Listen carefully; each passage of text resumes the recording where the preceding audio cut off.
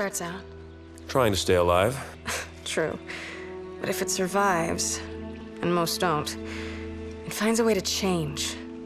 The little larva becomes a chrysalis. Inside, it destroys and rebuilds itself, changing its color, its shape. It gets wings, claws. It slashes its way out of its cage, and then. And then it's new and beautiful.